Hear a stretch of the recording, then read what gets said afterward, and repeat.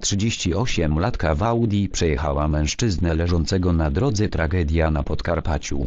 Audi przejechało leżącego na drodze 61-latka. 38-letnia kobieta kierująca osobowym Audi najechała na leżącego na jezdni 61-latka. Mężczyzna zmarł w szpitalu. Wypadek miał miejsce w miejscowości Majdan Golczański na Podkarpaciu.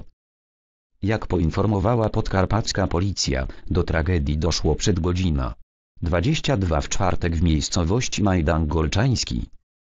Ze wstępnych ustaleń pracujących na miejscu policjantów wynika, że kierująca Audi, 38-letnia mieszkanka powiatu niżańskiego, na nieoświetlonym odcinku drogi powiatowej najechała na leżącego na jezdni mężczyznę, podała policja.